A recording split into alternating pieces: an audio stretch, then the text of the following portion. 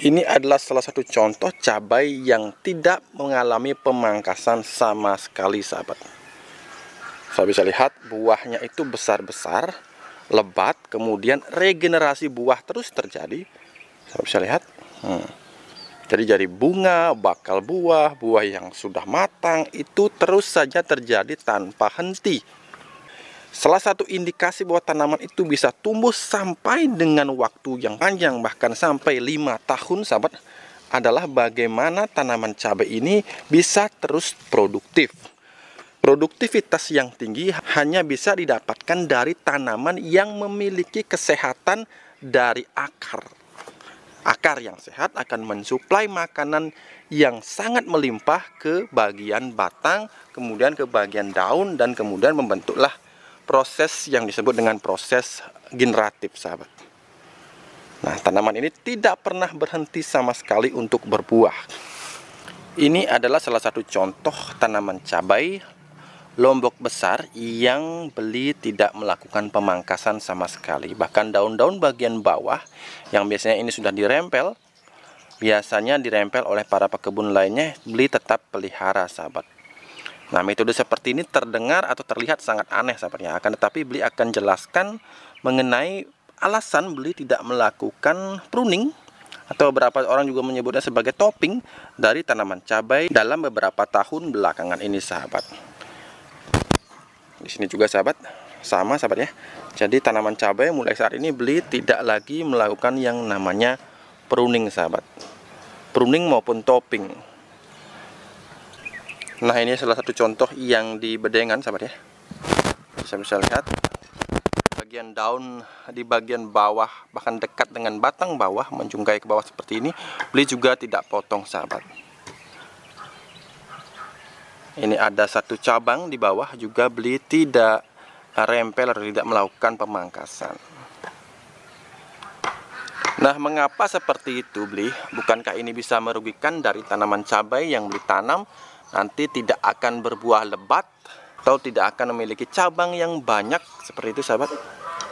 Nah beli akan menjawabnya dengan alasan yang beli amati dari pengalaman beberapa tahun memelihara tanaman cabai. Yang pertama adalah untuk pemangkasan. Sebenarnya beli sudah sering sekali melakukannya di masa lalu. Sahabat bisa melihat video-video beli ketika beli memangkas tanaman cabai. Bahkan di beberapa video di tahun 2018 kalau tidak salah beli mengajarkan bagaimana cara memangkas tanaman cabai. Jadi beli bukan tidak pernah akan tetapi di masa lalu sering melakukannya. Dan hasilnya memang positif sahabat. Jadi mulai tumbuh banyak uh, cabang Kemudian banyak cabang itu akan menghasilkan banyak buah dan bunga. Nah, itu adalah sisi positifnya. Akan tetapi, makin kemari, makin tahun, makin banyak pengalaman yang beli lihat, terutama dari tanaman cabai yang usianya panjang dan tetap produktif, akhirnya beli menganalisa sebuah kesimpulan. Menurut pengalaman beli sendiri, dari pengamatan yang beli lakukan, tidak hanya pengamatan yang beli lakukan setahun akan tapi bertahun-tahun sahabat beli sering membandingkan pertumbuhan tanaman cabai utamanya cabai rawit sahabat ya. Cabai rawit dan cabai uh, lombok besar seperti ini sahabat. Ketika kita membandingkan dari usia produktivitas tanaman ternyata sahabat tanaman yang tanpa melalui proses pruning maupun topping itu jauh bisa lebih tahan terhadap serangan hama dalam kurun waktu jangka panjangnya sahabat. Jadi ketika beli misalkan memiliki dua jenis cabai yang satu di pruning dipangkas yang satunya tidak biasanya bahkan mayoritas tanaman yang tidak mengalami stres pada fase-fase awal pertumbuhannya itu bisa hidup dengan lebih panjang kemudian bisa tahan dengan serangan penyakit. Memang di awal-awal kita bisa mendapatkan tanaman yang berbuah sangat banyak sahabat ya. Hasil yang lebih optimal dengan melakukan pemangkasan. Akan tetapi apabila sahabat menginginkan tanaman cabai yang memiliki usia produktif yang panjang usia hidup yang juga panjang karena di sini beli menghitung dari segi kos dari segi biaya sahabat ya.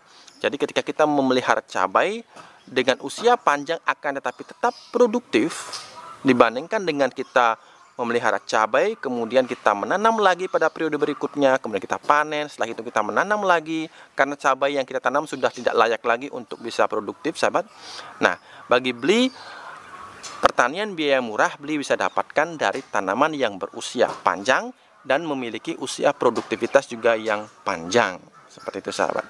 Sehingga mulai saat itu, beli tidak lagi melakukan pemangkasan. Lalu apa hubungannya, Pak? Nah, beli berusaha menjelaskan semampunya yang beli bisa simpulkan. Pertumbuhan cabangnya juga baik sehingga sangat tidak pantas untuk beli melakukan pemangkasan karena ini sudah cukup memiliki banyak sekali uh, cabang sahabat. Jadi beli memilih untuk tetap bersabar menikmati hasil yang diberikan senatural mungkin sahabat untuk mendapatkan hasil yang berkesinambungan dan berkepanjangan juga memiliki tanaman yang lebih sehat tahan terhadap serangan penyakit. Nah, alasannya adalah begini sahabat. Ketika kita melakukan pemangkasan di fase usia awal, ternyata itu dapat mempengaruhi yang namanya laju proses fotosintesis. Sahabat tahu sendiri bahwa dalam melakukan proses fotosintesis, akar dan daun itu merupakan salah satu elemen yang sangat penting kuantitas dari banyaknya daun, kemudian kualitas dari kesehatan akar itu merupakan elemen yang sangat penting dalam melakukan proses fotosintesis. Itu sebabnya bagi tanaman yang terserang penyakit di bagian akar itu akan sangat susah untuk bisa sehat. Karena apa? Karena proses fotosintesis melibatkan juga yang namanya kesehatan akar tanaman kita.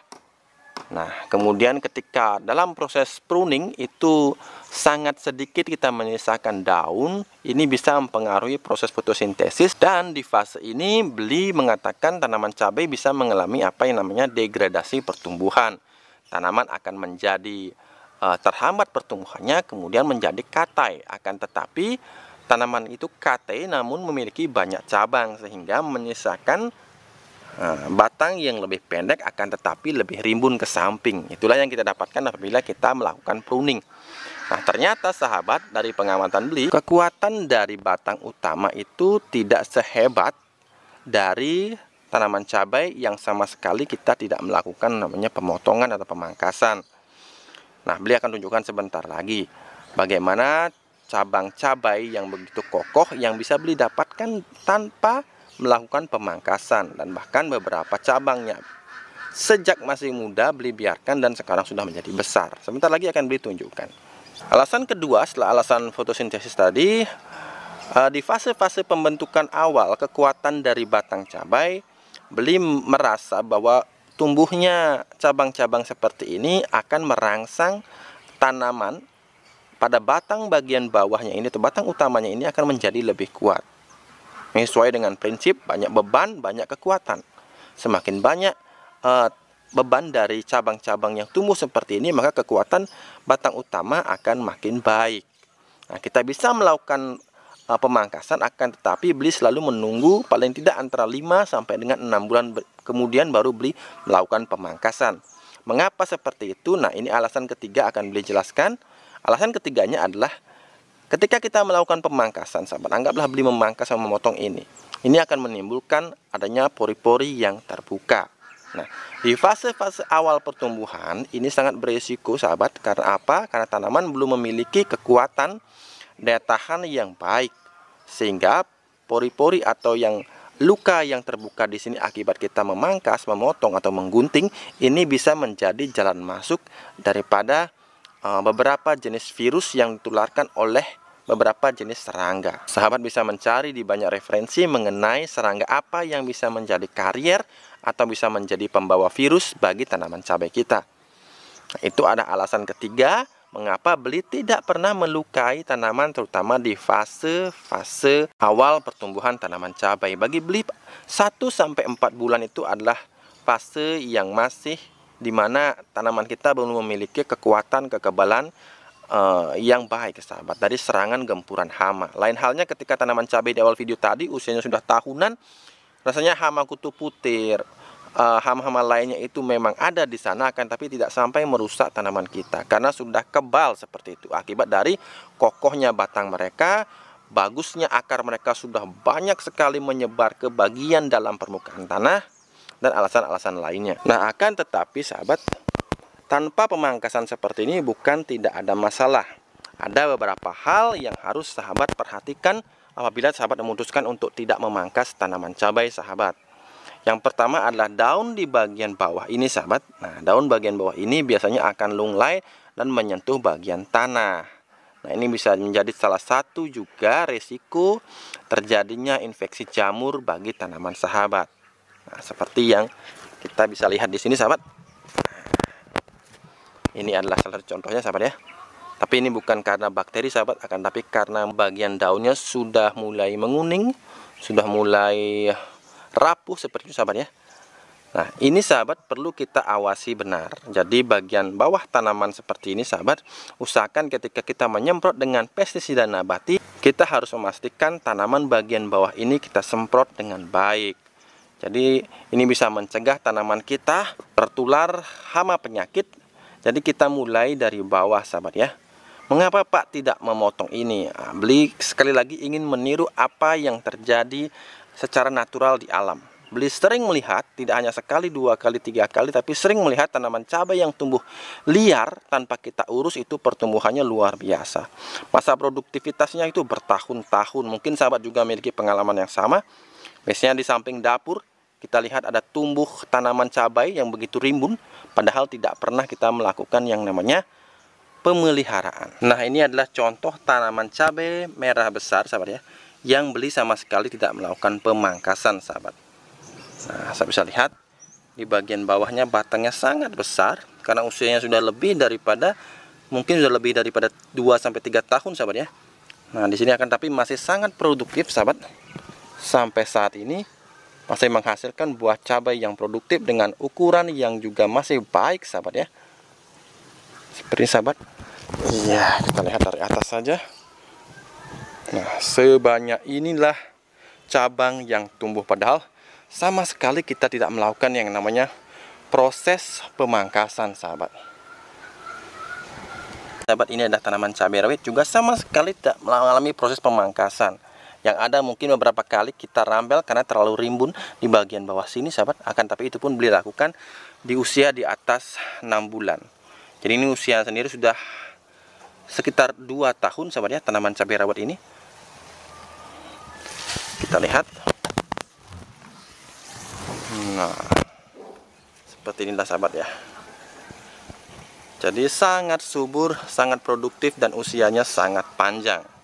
Oke sahabat, ingat kembali bahwa tujuan berkebun organik sebenarnya atau melakukan pertanian secara organik sebenarnya adalah bagaimana kita menjaga pertanian ini bisa uh, tumbuh secara berkelanjutan. Itu sebabnya banyak sekali beli atau ilmu beli yang beli revisi yang beli kemudian update sahabat dari tahun pertama tahun kedua tahun ketiga tahun keempat tahun kelima beli melakukan pertanian secara organik di sini kembali lagi beli menekankan bagaimana kita bisa menghasilkan tanaman yang berusia panjang produktivitasnya juga lama karena usia panjang tanaman bisa menjadi salah satu indikasi bahwa apa yang kita makan dari tanaman tersebut bisa membuahkan hasil berupa usia dari tubuh kita atau kesehatan kita yang bisa juga terjaga dan itu akan membuat kita atas izin yang maha kuasa bisa menjadi sehat dan panjang usia. Oke sahabat cukup sekian video beli kali ini. Masih banyak sekali hal-hal yang sebenarnya ingin beli sampaikan akan tetapi karena kesibukan beli di kebun terutama akhir-akhir ini karena kita masuk dari peralihan musim hujan ke musim kemarau di sini beli banyak sekali melakukan perubahan di kebun dan itu membutuhkan banyak sekali waktu. Dan beli beruntung masih bisa hadir di tengah-tengah sahabat untuk bisa merekod melakukan video dan memberikan banyak tips yang sama-sama kita akan evaluasi nanti hasilnya. Oke sahabat, cukup sampai di sini video beli. Jangan lupa untuk selalu berusaha menanamlah hari ini agar kita bisa panen esok hari. Sampai jumpa lagi di video-video berikutnya.